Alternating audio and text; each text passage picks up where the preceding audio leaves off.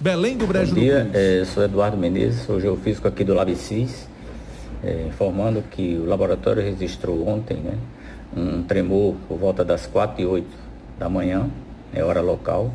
Esse evento foi registrado próximo a Belém do Brejo do Cruz, na Paraíba. Normalmente esses tremores eles são provenientes de falhas geológicas, né, que entram em atividade e geram essas vibrações que são sentidas pela população. É, na Paraíba nós não temos muitos casos né, de tremores de terra. Né? Esses ocorrem mais no Rio Grande do Norte, Pernambuco também e no Ceará. Nós tivemos uma atividade é, no estado da Paraíba e isso ocorreu, a última que nós temos, em 99, 1999, na região de Uiraúna. Né? É, a atividade naquela região lá, ela perdurou aproximadamente por uns quatro meses e depois é, cedeu, acabou, né?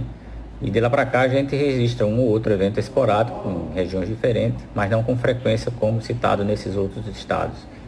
É, como falei aqui, é um tremor de baixa magnitude, né, baixa intensidade, 2.2.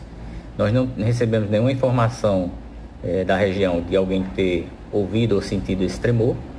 É, ele não traz nenhuma preocupação por ser um tremor pequeno, não provoca nada de danos estruturais apenas os, a instrumentação registra, né? E o, e o LabCIS, né, que é responsável por gerar todos os boletins é, de monitoramento da área sísmica aqui no Nordeste, é, emitiu essa nota, está né? Tá publicado no nosso site.